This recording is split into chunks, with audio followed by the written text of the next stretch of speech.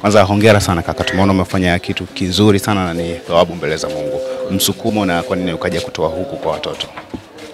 Ah, wenyewe anasemaga kutoa ni moyo mm, wala sio utajiri sana. Huwezi kusema mpaka upate ndio utoe, kwa sababu pia hauwezi kukidhi mahitaji ya kila mtu, lakini utapopata japo kidogo unatoa.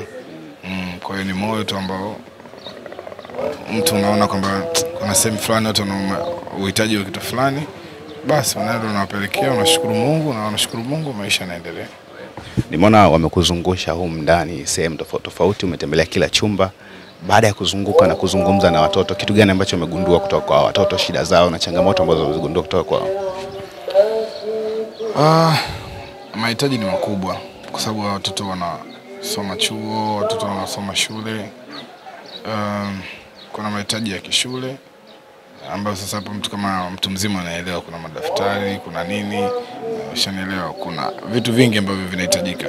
Pia kuna mahitaji ya ukarabati wa vitu vidogo vidogo, nini kama choo, unajua zile kama jikoni kidogo, yani kuna sehemu ambayo mashuka ndani, kuna vitu fulani ambavyo kwa mtu ambaye ataona kupitia uh, online TV yenu ataangalia, ataona, kwa sababu ni vitu ambavyo havijifichi, vinaonekana tu.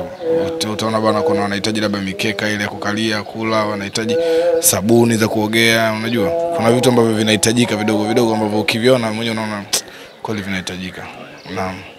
Um, Kwa shehe sijui umemaanisha nini, lakini mi na swali na namshukuru Mungu, namwomba Mungu uh, lakini shehe ni kitu kingine, ni cheo kikubwa zaidi, lakini ni Muislamu ambaye na swali na nini ya, na hofu ya Mungu na dada, umekuja na Romi, wewe ndio ulimshawishi Romi kuja hapa au ni mlikaa wenyewe mkazungumza? Uh, tuliplan pamoja kuja hapo.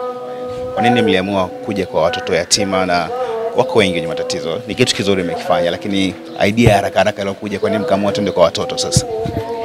Um, napenda idea ya ku um, visit orphanages kwa sababu hawana wazazi na kama ulivyoona leo, yani hata hawana wanavyokaa tu mpaka moyo inakuuma. Uh, kama hawana kitanda, hawana magodoro zimechanika chanika nini. Kwa hiyo we have a special place in our heart for orphanages.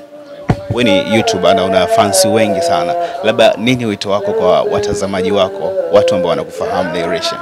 Um, nitaambia subscribers na viewers wangu wote uh, waje hapo au orphanages yoyote wanaweza kusaidia um, kwa sababu they really need our help.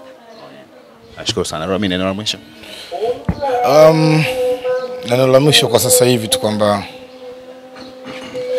tutembelee sehemu za watoto yatima, tutembelee hospitali, tutembelee sehemu tofauti tofauti. Unajua, ukiwa na kazi zako Masaki kule, ukiwa na kazi zako Mikocheni, huwezi kujua kama kuna watoto wana shida sana eh, lakini unapokuwa unakuja kwa sababu kwa sisi, kwa mimi mtu wa dini, nafahamu watu wanaishi vipi. Sitoshi kwa mimi ambaye nimezaliwa katika maisha magumu, siwezi kusema magumu sana, lakini nimezaliwa katika maisha fulani ambayo nafahamu hali halisi, lakini kwa sababu nakumbuka, wachache sana wanaokumbuka.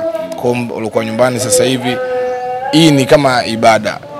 Unapokuja kumtembelea mtoto ambaye hana hana mahitaji, unapoenda kumtembelea mgonjwa hospitali, ni ibada. Mungu anakubariki sana. Kwa tujaribu tupoteze muda wetu japo hata dakika kumi, hatujatumia hata dakika thelathini hapa. Kama una chochote sio lazima utoe milioni tano, milioni mbili, milioni ngapi. Kama una mashuka yako nyumbani, kama una nguo zako nyumbani, sabuni, sukari kidogo, mafuta, yanasaidia sana kwao. Naam, thank you so much.